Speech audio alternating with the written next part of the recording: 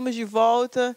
Tenho certeza que você só pausou, pegou um cafezinho e voltou para a gente continuar o nosso estudo aqui dos crimes da parte especial. Portanto, gente, na nossa aula de agora, nós vamos estudar o artigo 159, que é o crime de extorsão mediante sequestro. Veja, na extorsão mediante sequestro, o raciocínio da extorsão, que é a questão da colaboração da vítima, ele ainda se mantém aqui. Aliás, não colaboração da vítima, a palavra colaboração, ela se mantém aqui no crime de extorsão mediante sequestro. Mas veja, o diferencial desse crime para o crime de extorsão é que no 159 não é a vítima quem efetivamente vai colaborar para obtenção da vantagem indevida. Por quê? Porque no crime de extorsão mediante sequestro, a vítima, na verdade, ela é o preço do pagamento do resgate. Então veja que não há como a vítima colaborar na medida em que ela vai estar em um cativeiro.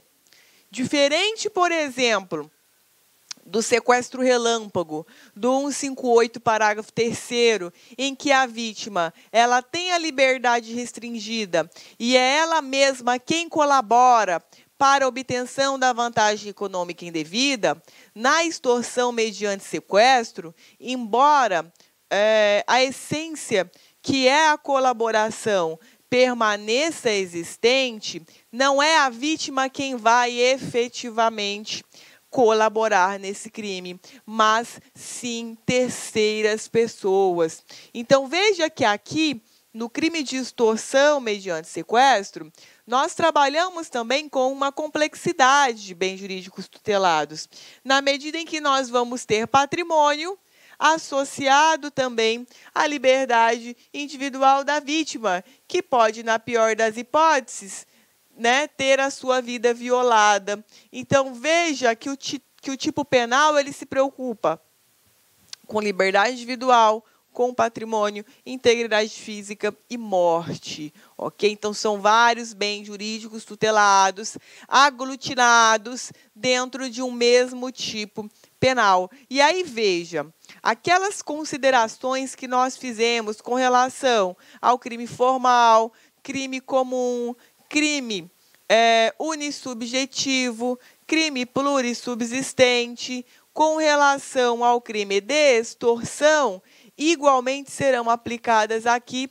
no crime de extorsão mediante sequestro. Por quê? Ora, porque a essencialidade do crime de extorsão mediante sequestro é o crime de extorsão. Então veja aqui por exemplo, o legislador ele poderia muito bem, ao invés de ter criado o tipo penal extorsão mediante sequestro, ele poderia muito bem, ao longo de um dos parágrafos do artigo 158, ter ali inserido essa modalidade. Mas, nesse caso específico, ele achou por bem colocar em um tipo penal é, diferente, ok? Mas veja que, essencialmente, estamos tratando é, de mesmo tipo penal. O fator colaboração ainda assim é imprescindível para a obtenção da vantagem. E aí veja que aqui no slide eu simplesmente repliquei o que nós vimos no crime passado, as mesmas considerações que nós utilizamos para diferenciar o roubo da extorsão igualmente vamos utilizar aqui para diferenciar extorsão mediante sequestro de roubo, ok? E aí veja que, diferentemente do que nós estudamos no finalzinho da aula passada, aqui a extorsão mediante sequestro, pouco importa se qualificada ou não, ela é crime hediondo. Então veja, ao contrário da extorsão do 157, ou aliás, do 158, me perdoem, que somente é hedionda quando resultar lesão grave ou morte, aqui na extorsão mediante sequestro, qualquer variável é considerada crime hediondo. Então veja com relação àquela controvérsia que nós vimos na aula passada, que embora o sequestro relâmpago, ou seja, o artigo 158, parágrafo 3 ele tenha penas cominadas que são da extorsão mediante sequestro, artigo 159, parágrafo 2 e 3 nas suas formas qualificadas, embora se cuide de mesma pena cominada, o sequestro relâmpago do 158, parágrafo 3 ele não pode ser considerado crime hediondo. Por quê? Ora, porque a Lei 8.072-90 não prevê de forma expressa, de modo que nós não podemos realizar analogia em Malapartem, analogia para prejudicar o réu, ok? Então veja que nós temos, portanto, extorsão do 158, hediondo, apenas quando da extorsão resulta a morte ou lesão grave, que é o 158, parágrafo 2 e veja, na extorsão mediante sequestro, qualquer uma das suas variáveis é considerado crime hediondo, ok? E aí veja, nós não temos simplesmente uma privação da liberdade de locomoção, mas também a pessoa que paga o resgate ela vivencia né, a situação de vítima do crime. Então, portanto, não apenas a pessoa é privada de locomoção, além disso, também há uma ofensa ao bem jurídico patrimônio. Assim como na extorsão, também pode ser sujeito passivo a pessoa jurídica que paga o resgate e, consequentemente, é atingida em seu patrimônio. Ou seja, na extorsão e na extorsão mediante sequestro, nós podemos ter uma vítima sobre quem recai a conduta do constrangimento e nós podemos ter uma outra vítima, que é aquela quem vai efetivamente realizar o pagamento, colaborar com a vantagem indevida obtida, né? Então, se eu extorsiono uma pessoa física ou sequestro essa pessoa física para que eu obtenha uma vantagem indevida da empresa, veja, nós temos a vítima empresa, na medida em que é seu patrimônio o bem jurídico violado, e temos também a vítima, a pessoa física sob quem recai a conduta do constrangimento,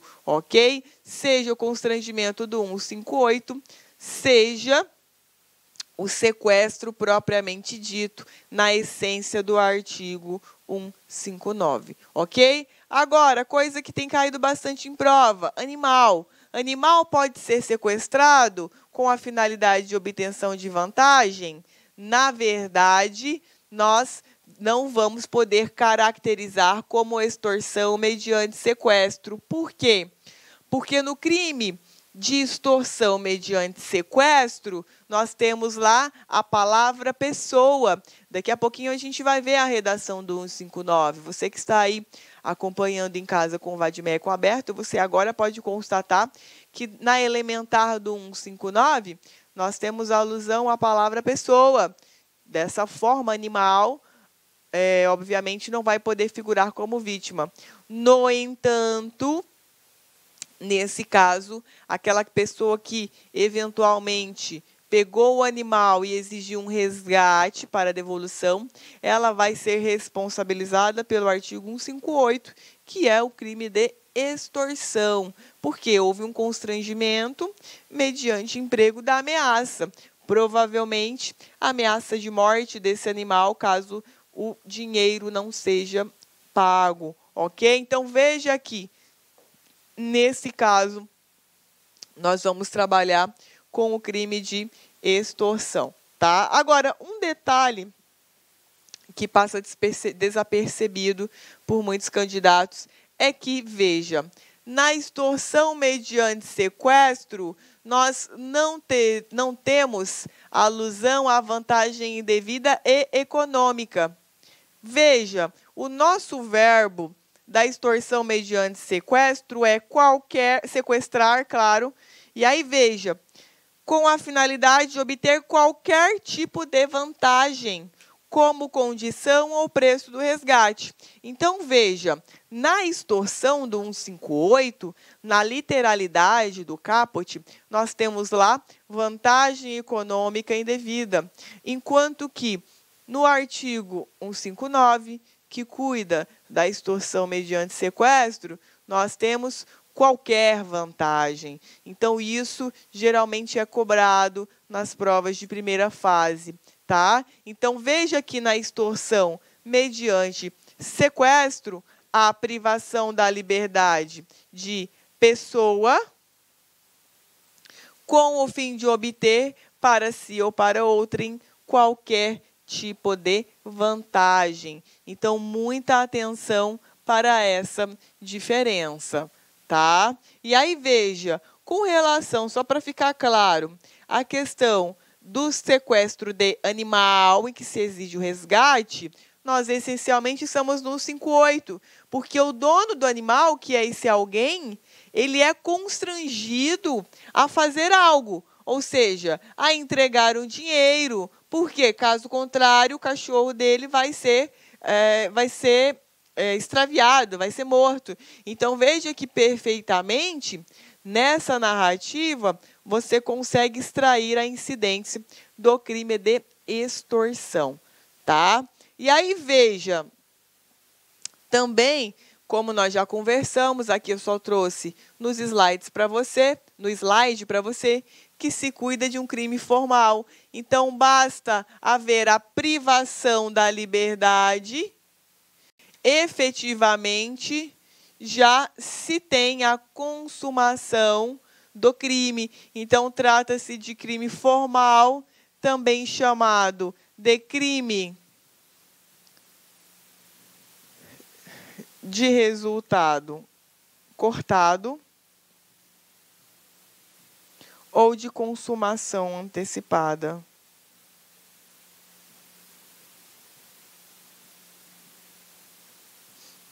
Ok?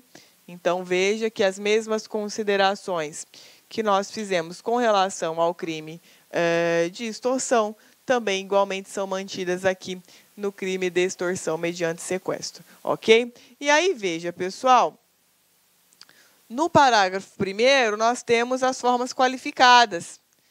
Portanto, se o sequestro ele dura mais de 24 horas, se o sequestrado ele é menor de 18 anos ou maior de 60 anos, ou se o crime é cometido por bando ou quadrilha, nós vamos ter uma pena de 12 a 20 anos. Veja, essa nomenclatura bando ou quadrilha não existe mais é, no tipo penal, tá? Na verdade, bando ou quadrilha agora é denominado de associação de associação criminosa, previsto lá no artigo 288 do Código Penal.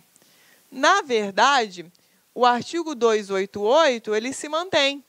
O que nós tivemos foi uma modificação na nomenclatura do tipo penal incriminador. O que antes era bando ou quadrilha, agora é denominado de associação criminosa ok? Mas veja, na oportunidade em que a lei alterou a nomenclatura no 288, é, ela se esqueceu de alterar aqui também no artigo 159, parágrafo 1 ok? E aí veja, pessoal, se do sequestro resultar lesão corporal de natureza grave, nós temos uma pena de reclusão de 16 a 20 anos. E veja, se resultar a morte, nós temos uma reclusão de 20 a 4, 24 a 30 anos. Agora veja, pessoal, lembrando, portanto, se do sequestro relâmpago, que é o 158, parágrafo 3 resultar lesão grave ou morte, nós vamos aplicar as penas do 159 ou parágrafo 2 ou parágrafo 3 ok? E aí veja, embora o 158, parágrafo 3 seja um tipo penal remetido, esse artigo com esse parágrafo, eles não são considerados crimes hediondos. Qual é a diferença, portanto, entre o vulgarmente denominado sequestro relâmpago e o crime de extorsão mediante sequestro? Simples. Na, né, no sequestro relâmpago, a privação da liberdade ela é momentânea, somente pelo tempo que se fizer necessário para a própria vítima colaborar com a obtenção da vantagem. Então, lá naquela oportunidade, logo que a vítima colabora, ela é colocada em liberdade. Na extorsão mediante sequestro, não. Na extorsão mediante sequestro, a vítima ela funciona como um objeto de pagamento do resgate. Então, em regra, não é ela quem colabora para a obtenção dessa vantagem.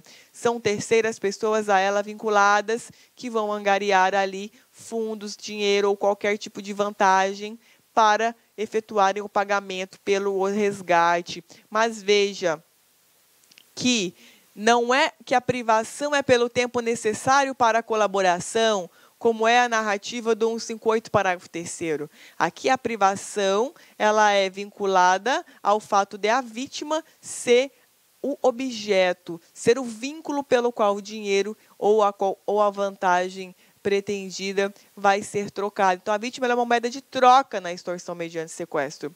Enquanto que no sequestro relâmpago, ela não é uma moeda de troca. Porque, na verdade, é ela mesma quem vai colaborar para uh, que o autor do crime obtenha essa vantagem devida, ok? E aí veja que no parágrafo terceiro nós temos se da privação da liberdade resulta a morte, esse resultado morte pode ser tanto a título de dolo quanto a título de culpa. Vocês agora já sabem que quando o resultado morte ele é a título de culpa, nós estaremos diante de um crime préter doloso.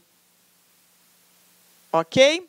E aí, veja, também o resultado é, morte ou lesão corporal grave, gente, aqui, obrigatoriamente, ela deve recair sobre a pessoa que está com a liberdade privada e não aquele que eventualmente vai pagar o resgate, por exemplo. Então, suponhamos que eu sequestrei uma pessoa no momento do pagamento do resgate, eu matei a pessoa que levou o dinheiro. Veja, não vai ser caracterizado o crime de extorsão mediante sequestro com resultado morte. Nesse caso, a gente vai ter extorsão mediante sequestro mais crime de homicídio doloso, ok? Então, veja, prevalece que o resultado morte ou lesão grave deve recair sobre o sequestrado uma vez que o tipo menciona se do fato ocorrer o resultado qualificador.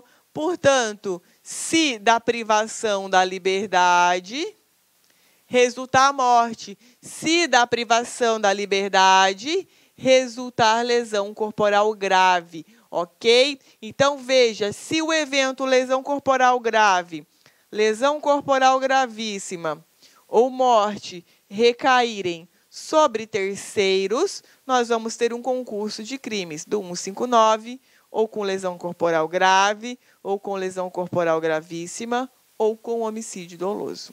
Tudo bem, então? Esses eram os últimos detalhes aqui com relação ao crime nas formas qualificadas. Agora veja, gente, no parágrafo 4 nós temos aqui a figura da delação premiada que na verdade ela vai funcionar como uma causa de diminuição de pena. Então veja, se houver concurso de pessoas, então a gente tem os requisitos para delação premiada dessa lei, desse artigo.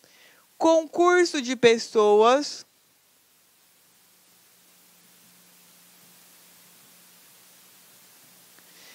E veja, o, um dos coautores facilita facilitação da libertação do sequestrado. Então veja, se porventura um dos coautores indicar o local do cativeiro e efetivamente essa indicação ela tenha sido eficiente para soltar a vítima, nesse caso haverá essa redução de pena de 1 a 2 terços, ok? Agora, veja, não basta simplesmente indicar o local em que a vítima pode ser encontrada. Então, veja, vou colocar aqui uma observação para vocês. Delação premiada. Delação premiada do artigo 159 do Código Penal. Não basta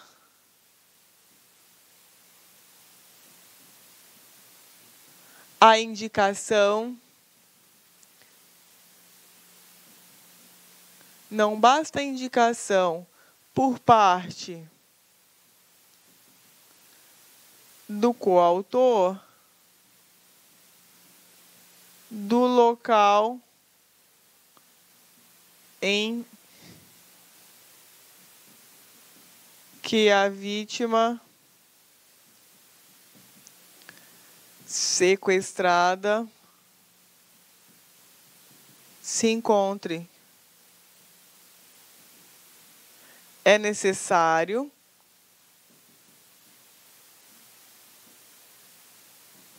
é necessário que a libertação que a indicação, me perdoe, é necessário que a indicação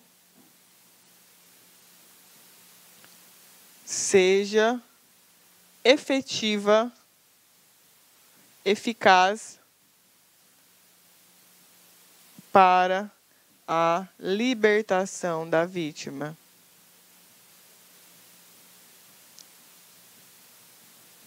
Então veja, pessoal, não basta a indicação por parte do coautor do local em que a vítima sequestrada se encontre.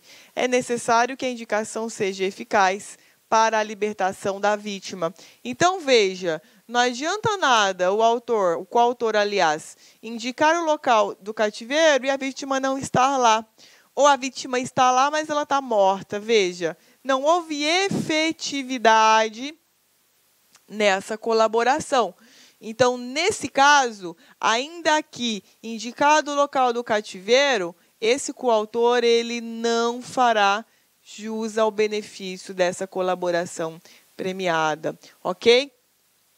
E aí veja que aqui nós temos uma ressalva interessante que é, essas disposições do artigo é, 159, parágrafo 4 foi uma das primeiras no nosso ordenamento em que houve essa previsão da delação premiada, ok? Então veja que aqui na parte especial, nós temos a incidência da delação premiada em matéria de direito penal especial, ok? Agora, pessoal, na verdade, essa aula é super curtinha, tá? É, na verdade, quando as bancas elas cobram extorsão mediante sequestro, elas cobram esse conhecimento associado à questão para o crime de extorsão. Então, eu recomendo que você, aluno, estude esses dois crimes conjugados. Ou melhor dizendo, no dia que você separar para estudar roubo, você já pega rapidinho é, esses dois crimes para você matar.